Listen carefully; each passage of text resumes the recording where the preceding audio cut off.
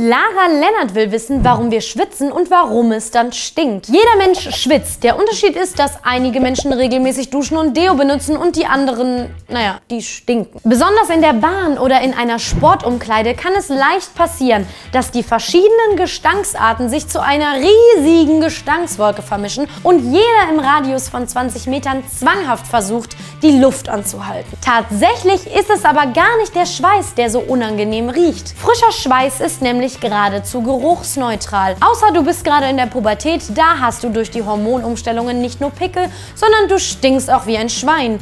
Yay! Bei allen anderen ist es aber die Einwirkung von Hautbakterien, die für den Schweiß und Körpergeruch verantwortlich sind. Diese Hautbakterien halten sich besonders an warmen und feuchten Körperbereichen auf, also zum Beispiel in den Achselhöhlen oder den Füßen. Die Bakterien stehen auf Harnstoffe, Eiweiß und Milchsäure, die neben Wasser und Salz in unserem Schweiß vorhanden sind. Wenn wir schwitzen, veranstalten die Bakterien ein Festmahl und zersetzen die Stoffe so, dass unter anderem Buttersäure freigesetzt wird. Diese ist für die unangenehmen Gerüche verantwortlich. Wer Schweißgeruch vorbeugen will, kann sich die Achseln rasieren und so den Bakterien den Lebensraum nehmen, Deo benutzen, sich gesund ernähren und natürlich regelmäßig duschen. Schweißgeruch ist aber nicht nur ekelhaft. Wissenschaftler haben festgestellt, dass der Körpergeruch eines Menschen auf das andere Geschlecht durchaus anziehend wirken kann. Wenn ihr also das nächste Mal auf einer Party seid, verzichtet vorher aufs Duschen und tobt euch so richtig auf der Tanzfläche aus. Wenn ihr dann eure Beute gewittert habt, pirscht euch langsam an und haltet ihm oder ihr ihr schön eure duftende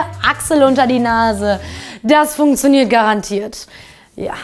Unser Körper schwitzt übrigens auch nicht einfach nur, um uns mit unschönen Schweißflecken auf die Nerven zu gehen. Durch das Schwitzen werden unter anderem Giftstoffe und Stoffwechselschlacken aus unserem Körper transportiert. Allerdings werden durch Deodorant mit Aluminium die Poren verstopft und die Giftstoffe können den Körper nicht mehr richtig verlassen, was zu schweren Gesundheitsschäden führen kann. Also achtet beim nächsten Mal besser auf ein Deo ohne Aluminium. Durch das Schwitzen wird außerdem auch unsere Körpertemperatur reguliert. An heißen Tagen kann unser Körper bis zu 6 Liter Schweiß über die Haut abgeben und sorgt so dafür, dass wir nicht innerlich verkochen. Das klingt nach einer ganzen Menge Schweiß und gibt dem Spruch in Schweiß gebadet eine ganz neue Bedeutung. Schwitzen ist also nicht nur lästig, sondern auch gesund und jeder von uns tut es. Ruft euch das einfach das nächste Mal, wenn ihr in der Bahn steht und die triefende Achsel einer völlig fremden Person im Gesicht habt, ins Gewissen. Wenn ihr jetzt auf den Geschmack gekommen seid und noch ein paar dumme Fragen und meine dummen Antworten dazu haben wollt, dann schaut doch mal an unsere dumme Fragen dumme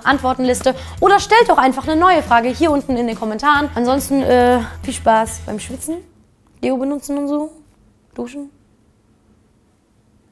Ja.